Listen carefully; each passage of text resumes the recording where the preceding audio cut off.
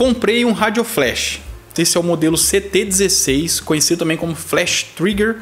Ele serve para que eu dispare remotamente o flash da câmera. E agora eu vou explicar para você como faz para instalar ele aí, para funcionar ele na sua câmera, que é muito fácil, muito simples. Esse aqui é o modelo, câmera Flash Trigger CT16.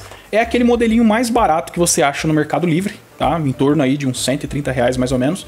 Ele vai vir dentro desse Bliss, eu acho que chama isso. Opa, já tá tudo desmontado aqui porque eu já abri, já tem review dele aqui no review não, né? Tem o unboxing no canal, mas aqui vai ser como se fosse um review.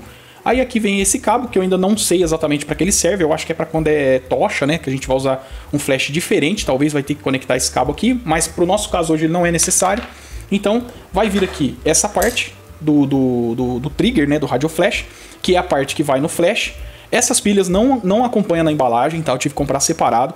É aquela pilha 3A, certo? De preferência você pegar a alcalina, tá bom? Então essa parte é a parte que vai no flash, certo? E aqui, ó, tem uns, uns botõezinhos aqui, depois eu vou dar um zoom para vocês verem melhor esses botõezinhos, que é onde a gente vai escolher os canais para é, deixar linkado com o disparador ou transmissor, né? Que seria essa outra pecinha aqui que vai em cima da câmera, tá? Ela não tem é, nenhuma bateria, nenhuma pilha, nada, tá? Só veio com um pequeno plastiquinho inserido aqui do lado, o qual já tem até uma mensagem para a gente destacar ele, né? Então já foi destacado esse plastiquinho, então ele já vai estar tá gerando sinal. Quando a gente apertar aqui, ele já vai estar tá gerando sinal e mandando para cá se eles estiverem na mesma frequência. E aqui do lado vai ter o botão de liga e desliga. Então a gente vai apertar o liga, né? E vai apertar aqui e ele já vai estar tá dando sinal pro, pro rádio, certo? Ele já vai estar tá dando sinal pro trigger.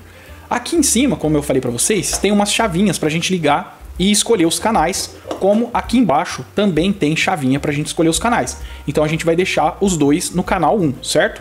E essa parte aqui a gente vai conectar no na sapata do flash. Então a gente vai vir aqui, vai colocar assim e vai encaixar, certo? Aí a gente gira aqui embaixo, né, para prender o flash nele. Ok, preso o flash. Esse modelo é o Yongnu 568. Então a gente vai apertar aqui para ligar. A gente já vai deixar ele no modo M, né, que é o que, é o que eu uso mais, tá? E aqui no cantinho, ó, vai ter um sinalzinho de uma câmera, tá? Porque é como se o flash tivesse conectado em cima da sua câmera. Então a gente vai vir aqui e vai deixar no modo em cima da câmera. Nesse modelo 568, para a gente mudar esse, é, esse ícone de câmera ou deixar no S1, S2, né? É no botão zoom. Você vai segurar até ele mudar, tá vendo? Aí aqui ele tá no modo S1, Aqui ele está no modo em cima da câmera. E aí depois tem outros modos aqui que não vem ao caso eu explicar, porque hoje a gente está falando só do rádio flash. Então a gente colocou aqui o rádio, né, o receptor no flash speedlight e o transmissor a gente vai colocar em cima da câmera. Aí você vai vir aqui, né, colocar aqui no hot shoe, na sapata da câmera, vai fazer uma forcinha, ele vai encaixar, vai apertar aqui embaixo e ele já vai estar tá transmitindo ali pro opa, já vai estar tá transmitindo para o seu speedlight. Aí quando você clicar, né? Opa, deixa eu ligar a câmera. Aí quando você clicar, ele já vai disparar. Vai disparar os dois juntos. Entendeu? Então não tem segredo, é super fácil de, de instalar, tá? Não tem muita complicação. Levei aqui talvez dois minutos para fazer isso, que eu dei uma olhadinha no manual ali para aprender um pouco como funciona, mas é bem simples, tá? Então não tem segredo. Colocou o é, o receptor aqui no flash, o transmissor em cima da câmera, né? Liga os sinais um aqui e um aqui, coloca o flash no modo flash em cima da câmera, certo? E aí é só ser feliz aí com o seu radiotransmissor Godox CT16. Como eu fazia isso antes do Radio Flash? Fazia disparando o pop-up da minha D90 ou da minha D7000. Porém, agora a gente tem uma câmera diferente, que é a D4. D4 não tem flash pop-up. E além da D4 não ter, Outro problema muito recorrente com a luz do flash pop-up é que por mais fraca que ela esteja só para disparar o flash remoto, ela ainda influencia no objeto, ela ainda influencia no assunto que eu estou fotografando. Então ela projeta uma pequena luz ali, um pequeno ponto de luz, às vezes que reflete no olho, às vezes projeta um pouco de sombra atrás da pessoa.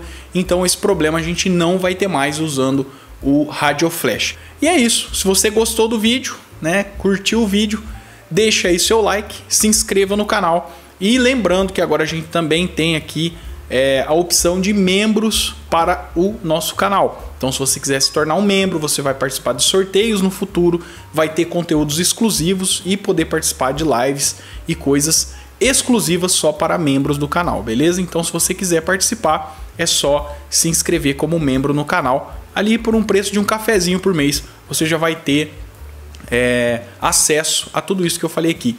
Sorteios, conteúdos exclusivos, vai poder assistir os vídeos primeiro do que as outras pessoas. Então, é, fora que também a gente vai poder trocar muita ideia, vocês poder, vão poder né, dar dicas e ideias para que eu possa melhorar cada vez mais aqui o canal, certo? Então é isso, pessoal. Até o próximo vídeo. Tchau!